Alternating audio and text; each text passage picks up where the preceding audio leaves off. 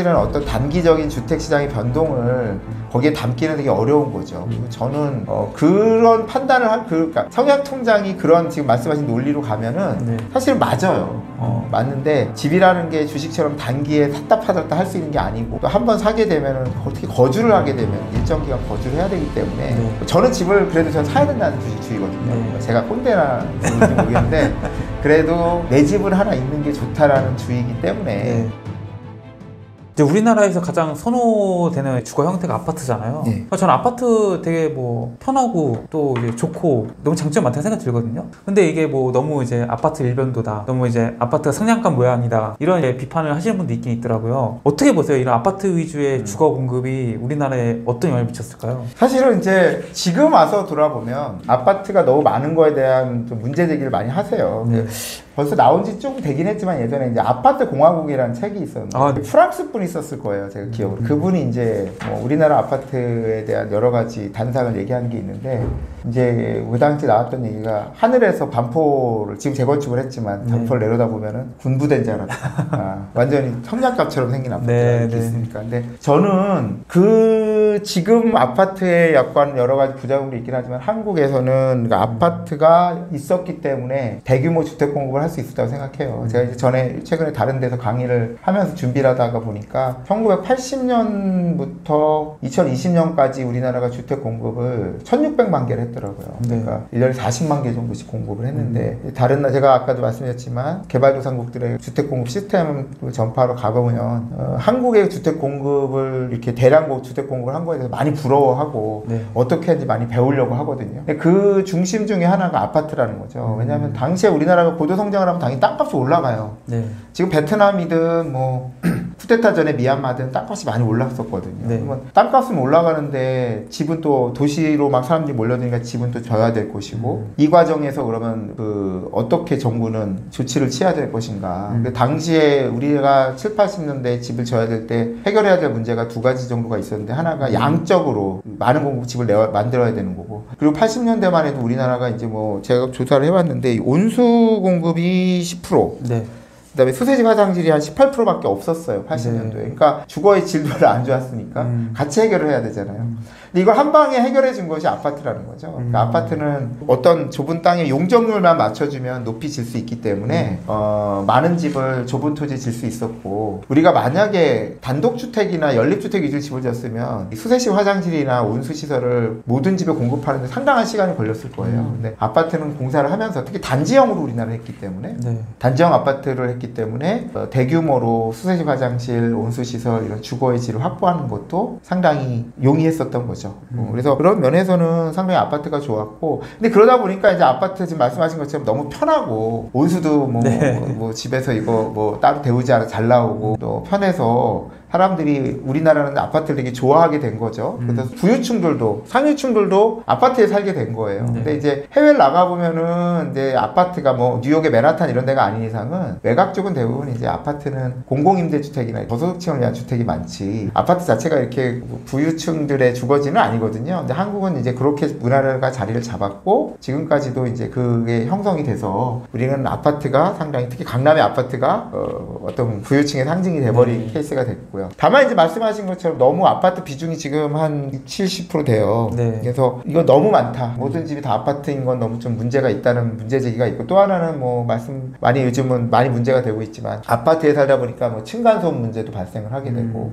어떤 여러 가지 부작용들이 발생하고 있어서 근데 저도 여기는 해결책을 못 찾겠어요. 저보고도 살라 그러면 저도 아파트를 지금도 살고 있지만 아파트 아닌 곳에서 사는 거에 대해서 좀 쉽게 상상이 잘 안 가가지고 뭐 이 부분은 참 우리나라가 갖고 있는 어떤 문화가 돼버린 게 아닌가 뭐 그렇게 생각을 합니다. 예. 아 근데 우리가 이제 뭐 미래 도시 얘기할 때 이제 앞으로는 이제 컴팩트하게 가야 된다. compact city 많이 얘기하잖아요. 네. 근데 그런 관점에 보면은 아파트가 최적의 선택지 아닌가요? 그렇죠. compact city야말로 아파트 네. 위주로 갈 수밖에 없고요. 네. 근데 이제 이런 거죠. 그러니까 아파트라는 게 너무 도시 집중이고 음. 그러니까 뭐 아파트에 대해서 그분들도 대답을 얘기하신 건 아닌데 문제 제기를 하시는 분들이 생각하는 거는 특히 유럽이나 미국 같은 데 가보면 네. 교외 지역으로 가면 왜 미국 영화 보면은 단독주택들이. 쭉 있고 네. 뒤쪽에 이렇게 수영장도 좀 있고 네. 뭔가 주거 문화라는 게 좀 다양화되고 그래서 주- 도심으로 들어오면 이제 맨하탄이나 뭐 대도시에는 아파트가 있고 음. 조금 또 외곽에서도 그 이런 그 저소득층들을 위한 뭐 임대주택들은 좀 아파트 방식 짓고 이런 식으로 이제 구성이 돼 있는데 네. 한국은 그렇지 않고 이제 어딜 가나 신규 주택이 특히 아파트가 많은 거예요. 음. 이 기존의 열- 연립이나 단독을 또 부시고 아파트를 짓고 있잖아요. 재건축이 재개, 재개발이 그런 케이스니까. 음. 그래서 주거 문화가 너무 펴- 획일적이 되는 게 아니냐 이런 문제는 분명히 있는데 말씀하신 것처럼 우리나라는 뭐 IT 기반의 smart city를 많이 생각하고 있고 compact city를 생각하고 있기 때문에 어, 아파트 방식으로 가는 건 피할 수 없는데 다만 기존에 아까 얘기한 대로 뭐 성냥갑 같은 아파트에서 좀 네. 다변화된 아파트 안에서도 좀 음. 다양한 문화를 좀 찾을 수 있으면 좀 그게 해결책이 되지 않을까 뭐 그렇게 또 생각을 해봅니다. 그 이제 서울을 좀 한정지어서 생각을 해보면은 사실 거의 아파트가 굉장히 많이 들어섰잖아요. 근데 이렇게 이제 아파트 중심으로 이제 어떻게 보면 구성된 도시가 아파트를 부시고 단독주택 갈 수는 없는 거죠. 거의 현실로 불가능하죠. 불가능한 왜냐하면은 거죠, 그 이제. 아파트라는 곳에 이제 한 50명이 살고 있는데 음. 그거를 부셔서 여기에 단독을 짓을 때 그분들을 50명이 그쵸. 집을 져주기가 어렵잖아요. 네. 그러니까 현실적으로 쉽진 않죠. 그거는 오히려 뭐 재건축하면 위로 올라가면 올라갈지 네. 내리는 건 아니니까요. 음. 네. 그런 부분은 참 사실은 그게 잘 두려운 부분이죠. 음. 재건축이 지금 이제 예전에 15층 또는 5층짜리를 20층, 30층으로 재건축을 했는데 네. 그럼 미래 그 집이 네. 또 30년, 40년 지났을 때는 네. 어떻게 해야 될 것이냐, 뭐 음. 그런 문제 분명히 있죠. 어, 그래서 다만 인구가 이제 또 줄고 있고 네. 주거 문화가 바뀌고 있으니 음. 뭐 사실 미래를 어떻게 알겠어요? 우리가 뭐 SF 영화 같은 거 보면 또 미래 주거는 되게 특이하잖아요. 어, 그래서 뭐 그때는 또 그거에 맞는 문화로 가지 않을까. 근데 음. 지금 제가 하고 싶었던 얘기는 이 책에서는 우리나라 가 고도 성장기에 집이 정말 부족했을 때 네. 주택 보급률이 뭐 70%밖에 안 되고 그랬었거든요. 음. 80년도 말에. 그러면 그런 상황에서 그 주택 보급률 100%를 갖추고 어느 정도 주택 재고량을 확보할 수 있었던 거는 아파트를 중심으로 한 공급이 상당히 기여한 바가 크고 음. 주거의 질에서도 상당한 뭐 기여한 바가 있다. 음. 그게 여기까지 현실이고 거기에다 이제 이후에 여러 가지 얘기해주셨던 문제점들을 우리가 하나씩 하나씩 개선해 나갈 필요는 있겠죠. 그 아파트 위의 공급 정책은 아주 잘한 정책을 생각하시는 거예요. 글쎄요. 뭐 저라도 그렇게 했을 것 같습니다. 어. 그 당시에는 뭐 음. 피할 수 없는 방- 방식이었을 것 같아요. 왜냐하면 땅값은 올라가고 있고 네. 주거의 질을 한 번에 마련을 해줘야 됐으니까 뭐 그렇게 어, 뭐 해야 되지 않았을까 생각을 합니다. 그 청약 제도에 대해서 한번 여쭤보고 싶어요. 청약하면은 제가 이제 대학교 딱 1학년 때 네. 요즘 이제 학생증에 다 은행이 연계가 돼 예, 있잖아요. 예. 그래서 그거를 딱 카드를 만들어 갔는데 그 은행원이 저한테 청약 통장을 만들라고 음. 그래서 한 달에 2만 원씩만 넣으면 예, 된다고 맞습니다. 그렇게 저는 시작이 됐거든요. 예. 근데 이제 여기도 뭐 책에 써주셨지만 이게 이제 mz 세대들은 큰 불만이 있다는 거잖아요. 예, 예. 어떤 것 때문에 그런 건가요? 그러니까 이게 청약 제도가 1977년도 이때쯤에 아마 도입이 됐을 거예요. 네. 그 전에는 이제 집을 공급하는데 이제 고도 성장을 하면서 주택 수요는 폭발적으로 증가하고 음. 나라에서도 열심히 집을 졌는데 특히 주공 같은 데서 집을 많이 졌잖아요. 주택공사에서. 근데 이 집을 어떻게 배분할 것이냐. 그래서 합리적 배분을 위해서 그래도 실수요자인 걸 확인하기 위해서 청약 통장에 가입을 하면 네. 가입을 하고 일정 기간 지난 사람한테 뭐 1순위 이렇게 주고 집을 배분했는데 1순위가 너무 많아요. 그래서 1순위 안에서는 이제 배분을 다시 해야 되니까 네. 청약 가점제도 하고 추첨제도 하고 이렇게 한 게 청약 제도가 된 거고요. 뭐 지금은 사실 현실적으로 분양 아파트는 공공이 많지 않기 때문에 공공주로 임대를 하니까 분양은 민간 주택이 많은데 네. 인형주택의 경우에도 1순위끼리 경쟁을 하면은 청약 가점제하고 이제 추첨제를 병행 을 하거든요. 음. 추첨은 뭐 운인 거고요. 근데 이제 청약 가점제가 중요한데 청약 가점제가 지금 이제 가점제 산정 기준이 무주택 기간하고 부양가족 수하고 청약통장 가입 기간인데 무주택 기간하고 청약통장 가입 기간이 15년이 만점이에요. 네. 근데 인기 있는 데 가보면 이건 무조건 만점이어야 돼요. 음. 점수가. 아, 그래서 아마 그 청약통장 가입 기간이 32점 만점인가요? 무주택 기간이 32점 만점이고 네. 청약통장이 17점 만점이거든요. 음. 얘네 두 개는 일단은 만점을 받고 부양가족 수에 따라 당락이 결정되더라고요. 어. 인기 지역은 부양가족 수가 좀 더 있으면 애를 좀 한두 명 더 낳으면 더 네. 간, 가능성이 높아가는데 우리가 무주택 기간을 30살부터 쳐줘요. 결혼 안 하신 분들은. 음. 결혼하신 분들은 그 전부터 치고. 네. 그러면 이제 사- 논리적으로만 봐도 산술적으로 봐도 서른 살이고 넘고 결혼 안한 서른 살 넘어서 결혼한 사람은 마흔 다섯이 돼야 청약 가점제에서 부양가족수 빼고 만점이 되는 거죠. 음, 그러니까 좀 괜찮은데 경쟁을 하려고 그러면 네. 45부터 시작을 하는 거예요. 그러니까 현실적으로 MZ 세대 분들이 청약에서 뭐 당첨이 돼가지고 집을 받기가 어려웠던 거죠. 음. 다만 이제 제가 이 책을 쓸 때는 어, 안 바뀌었었는데 올해 4월부터 네. 이제 청약 가점제가 좀 개선이 됐어요. 음. 그래서 이제 좀 작은 평수인 경우는 추첨제를 좀 늘린 거죠. 음. 근데 그것도 이제 미봉책인 게 가점제를 조정한 건 아니고요. 네. 추첨을 늘려서 아, 이제 젊은 사람들도. 이제 추첨을 통해서 당첨이 될 수 있는 좀 기회를 좀 아, 주긴 했는데 아무래도 mz 세대는 이런 생각이 있잖아요. 아니 과거에 나이 드신 분들은 이미 집이 막 공급이 되고 네. 소득 증가할 때 집 살 기회가 많았지 않느냐. 네. 근데 아직도 그분들을 위해서 더 많은 혜택을 줘야 되느냐. 그러니까 한 제 생각에는 한 20년 전만 해도 그래도 아직까지 새 아파트는 좀 집이 오랫동안 없었고 아기도 있고 이런 사람한테 주는 게 맞다라는 사회적 컨센서스가 있었는데 지금 꼭 그런 것 같지는 않아요. 왜냐하면 1인 가구도 많고 또 독신이면서 혼자 이제 사시는 분도 많고 어느 정도 나이가 있으신 분도 그러다 보니까 뭐 청약에서 좀 소외가 되시는 분들이 아 내가 청약 통장 가입해가지고 10년 20년 꼬박꼬박 아까 2만 원이라고 그랬지만 보통 네. 10만 원씩 내신 분들이 많거든요. 네. 뭐 10만 원씩 넣고 있는데 이게 뭐냐? 그래서 요즘에 사실은 청약 통장 해지자가 많이 늘어났습니다. 저도 그 중에 한 명. 네, 생활통장 해지자가 많이 늘어나가지고 지금 그 부분에 대해서도 국토부나 또 이제 기금 관리하는 이제 허그라고 하죠 대한주택보증에서 좀 고민을 많이 하고 있어요. 어. 어떻게 다시 돌아간 마음을 돌릴 것인가 그런 부분이 이제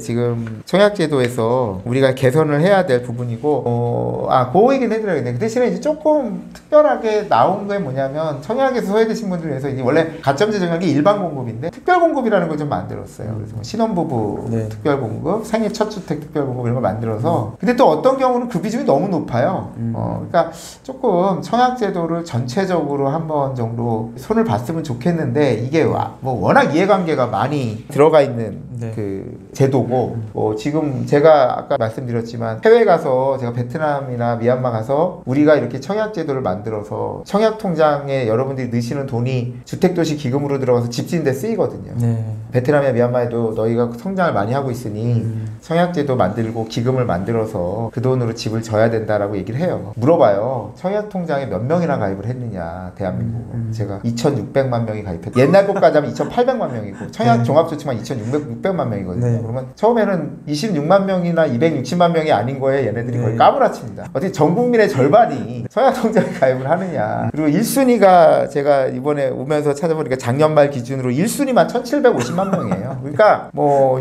이 수많은 사람이 이해관계가 걸려 있는 거잖아요. 청약제도를 단방에 바꾸기가 어렵고 음. 동영주책으로 이번에 나온 게 이제 추첨제를 좀 늘린 건데 우리가 한 번 정도는 사회적으로 한번 고민을 해보긴 해봐야 될 것 같아요. 이 제도가 벌써 이제 40년, 50년 이렇게 가는 제도고 인구 구조는 계속 변하고 있기 때문에 어떻게 이거를 좀 다시 개선할까에 대해서 좀 생각을 해봐야 될 것 같은데 사실 비겁한 게 저도 비겁한 게 그러면서 답을 내놓지를 못했기 때문에 제 단상이 좀 들어가 있는 내용이라고 볼 수 있겠습니다. 아, 근데 제가 이거를 청약통장 해지할 때 고민 많이 했거든요. 네. 근데 결정을 해지한 게 뭐냐면은 일단 말씀하신 대로 이제 부동산 상승기에 정부가 이제 부동산 정- 상한가 정책을 딱 써가지고 싸게 받을 수 있으니까 음, 넣었는데 음, 말씀하신 대로 경쟁도 엄청 치열하고 조건에서 밀리니까 안 된단 말이에요. 네. 불가능에 가깝잖아요. 네, 네. 그리고 로또라고 하는 거잖아요. 네. 그래서 보니까 아, 그때는 이제 대부분이 이제 부동산 시장이 과열된 상태잖아요. 그러니까 뭐 되더라도 이게 2년 뒤에 1년 뒤에 갑자기 음, 고꾸라질 수 있는 음, 거고 불안하죠. 결과적으로는 네. 뭐 시장의 반 대, 그러니까 시장이 불황일 때 아파트를 사야지 싸게 사는 거고 음. 상승을 노릴 수 있는 건데 음. 그때는 또 통- 통장이 필요 없죠. 다안 네, 사니까. 이게 저는 결과적으로 해지했거든요. 어떻게 보시나요? 아, 그 뭐 정확한 표현입니다. 근데 이제 사실은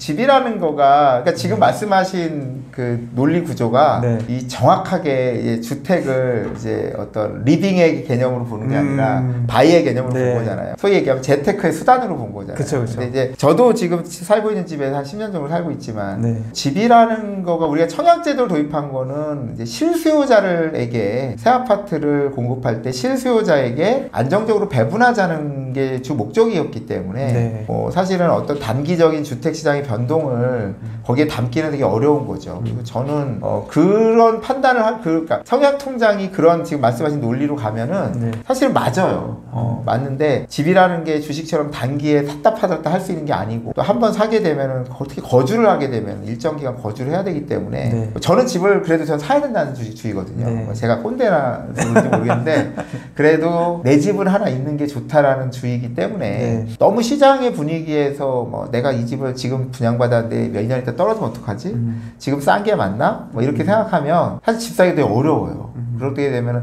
지금이 싼지 비싼지를 아무도 판단할 수 없기 때문에.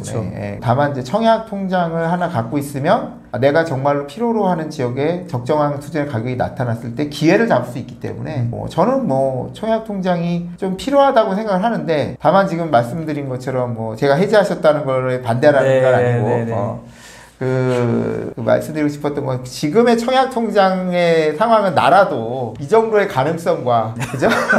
그리고 더 큰 문제가 청약 통장의 그 투- 통장비 이자가 있잖아요. 네. 이자가 있는데 옛날엔 청약 통장 이자율이 뭐 은, 은행 금리보다 그렇게 나쁘지 않았는데 맞아요. 예. 이 부분도 조금 옛날만큼 이게 왜냐하면 청약 통장에서 들어온 돈으로 기금에서 대출을 해주는데요. 그 저- 전세자금 대출이나 음. 구입자 대출 해주는데 이거 만약에 청약 통장 금리를 올리면 얘네가 올라가야 되니까 아. 연동이 되잖아요. 그래서 쉽게 올리기가 어렵고 그러다 보니까 고금리로 갑자기 시장이 튀었을 때 청약통장 금리가 따라가지 못했던 것 같아요. 그것도 요인이 되더라고요. 네. 그래서 그런 거 여러 가지 고민하면 뭐 좀 해지가 하는 게 뭐 불합리한 판단이라고 할 수는 없는데 저는 근데 뭐 집을 사고 청약을 통장을 가입하냐 안 하냐를 떠나서 신규 주택이냐 아니냐를 떠나서 집을 사는 데 있어서 내가 너무 저점에 사겠다고 하게 되면 네. 사실 집 사기가 되게 어려워요. 맞아요. 그런 부분은 좀 어, 저는 하지만 노후 대비를 위해서 주택 하나 정도 있는 게 있으면 좋겠다고 생각하고 저는 왜냐면 전세 다닐 때 고생을 많이 했거든요.